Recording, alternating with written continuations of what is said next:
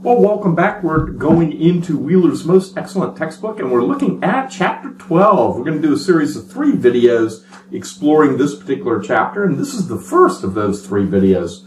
So what we're going to do is start by looking at security risk reviews. Here are the lesson objectives that we're going to talk about during this particular chapter. We're going to start by doing that kind of intro and talk about what a workflow is, how do we implement it, and then very briefly, actually very briefly, talk about how NIST provides a framework for certification and accreditation, and how does that work uh, within a business setting? So let's get into that first part there, get some definitions underway. Security risk reviews, that's that process of evaluating and addressing non-compliance with policies and standards. Yes, it's true. You write it down and everybody doesn't do it.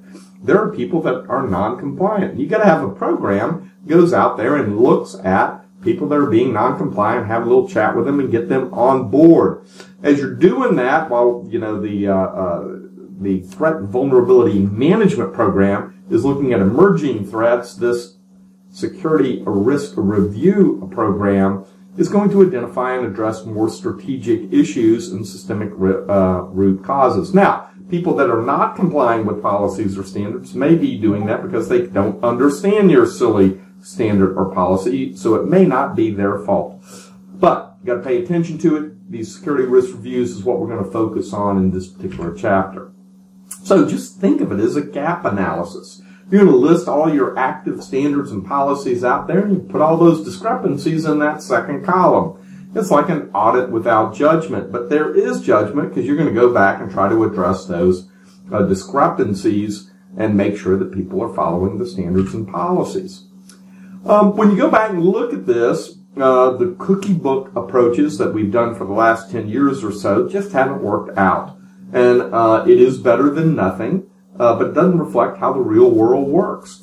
And so what you need to do is go back out, do these security risk reviews, look at the standard, determine if you can do things that meet the intent of the standard, um, do things that improve the current state and make this where it is a constantly improving system. So as you're looking at these discrepancies that are out there, you've got four little bullet points there that address what you should be looking at as you're going through uh, these particular uh, discrepancies, making sure you understand the technical and the process related vulnerabilities and threats? If so, can you make some changes that make it better or is it going to make it worse? Are the discrepancies out there not meeting the intent of the standard?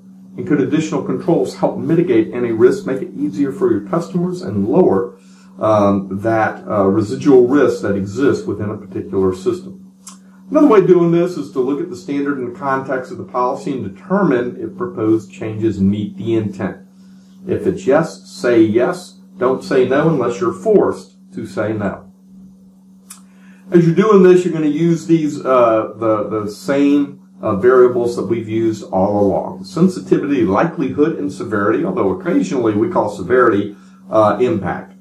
All right. Well, guess what? Believe it or not, that brings us to the end of this introductory video looking at Chapter 12 of Wheeler's most excellent textbook, Security Risk Management. What we're going to do in the next video is pick this thing up and start looking at workflows associated with the security risk review. So keep on studying, keep on learning, and I look forward to seeing you in the next video.